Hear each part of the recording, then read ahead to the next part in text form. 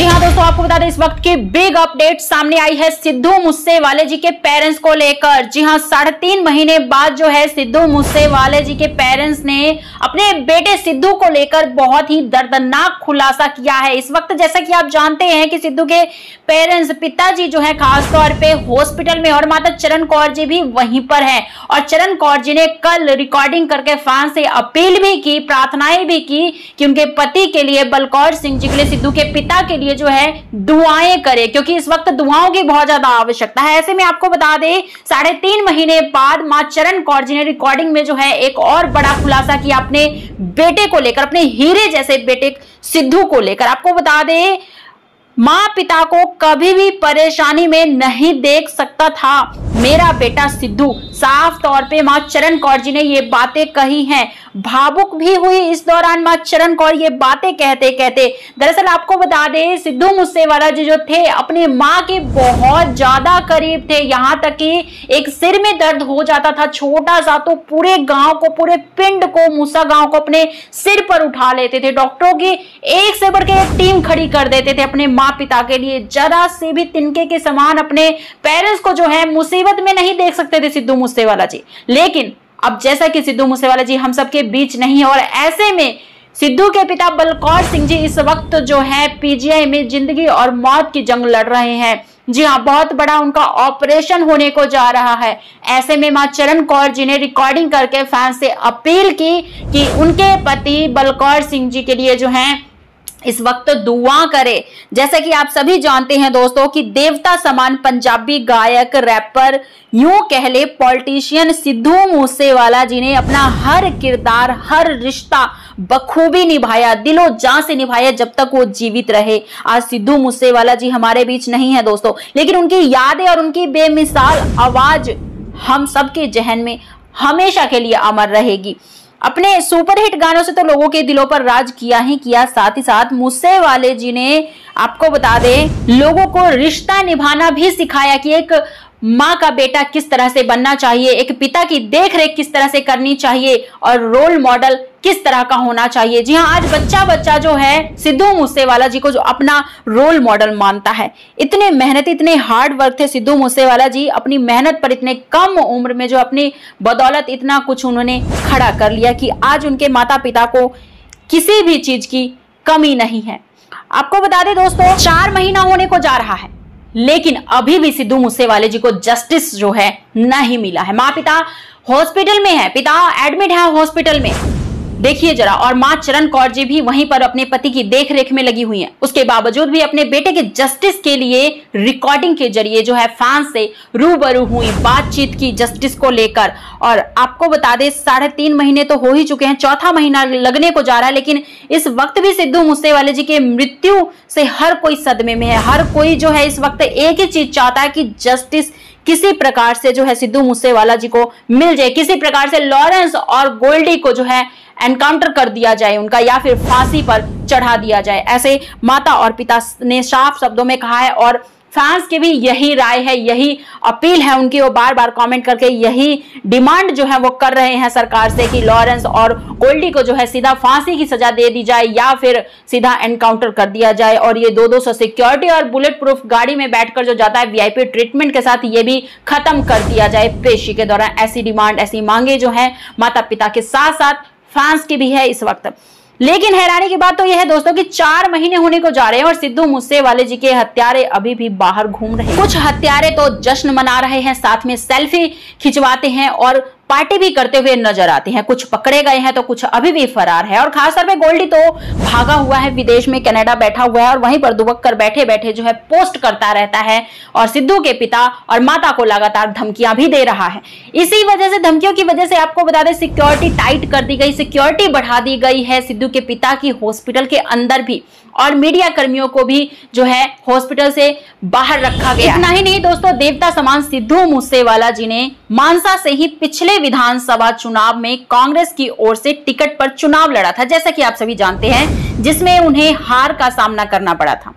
लेकिन आपको बता दें, आम आदमी पार्टी के उम्मीदवार ने उन्हें करीब साठ हज़ार वोट से मात दे दी थी उस वक्त। और उसके बावजूद भी सिद्धू मूसेवाला जी ने हार मानने के बावजूद भी उन्होंने ये वादा किया गरीबों से कि वो ताउम्र जब तक उनकी साँसें चलती रहेगी, वो गरीबों के लिए मसीहा बनकर जो है उनकी हेल्प करते रहेंगे। और सिर्फ़ उन्होंने वादा नहीं किया सरकार की तरह बल्कि काम करके भी दिखाया। देखिए, आपको बता दें, गरीबों के लिए खास तौर पे जो इतना महँगा इलाज होता है, कैंसर का इलाज, उसके लिए उन्होंने अपने गाँव, अपने पिंड मूसा में जो इतना छोटा गाँव होने के बावजूद भी उन्होंने इतना बड़ा गाँव बना दिया। आजकल हर कोई बच्चा बच्चा जानता है उस गाँव को, मूसा पिंड को। अपने नाम के साथ उन्होंने मूसा लगा लिया ताकि उनके गाँव, उनका गाँव जो है फ़ेमस हो जाए और वो हुआ भी। जो जो उन्होंने सपना देखा, सब कुछ पूरा हुआ, अपने दम पे किया उन्होंने।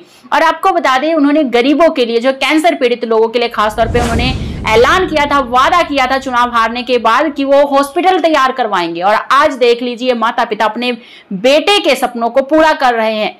जो पैसा आपको बता दे, अपने ऊपर लगाना चाहिए, आज वो गरीबों के लिए लगा रहे हैं माता पिता सिद्धू के, और अपने बेटे का सपना पूरा कर रहे हैं।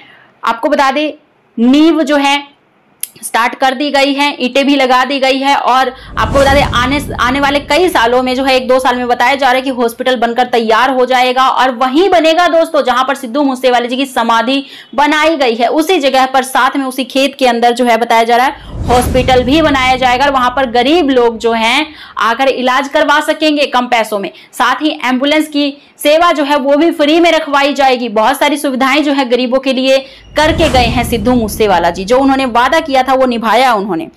चुनाव हारने के बावजूद भी। तो ऐसे थे डाउन टू अर्थ इंसान थे काफ़ी। सिद्धू मूसेवाला जी, पंजाबी इंडस्ट्री का एक ऐसा नाम थे दोस्तों, और है और हमेशा रहेगा, जिन्होंने कई क्षेत्रों में अपनी फ़ैन फॉलोइंग खड़ी की थी, ना सिर्फ़ इंडिया में, बल्कि बाहर विदेशों में भी। सिंगर रैपर और राजनेता के रूप में उभरे मूसेवाले ने बेहद कम उम्र में ही बड़ा मुकाम हासिल कर लिया था।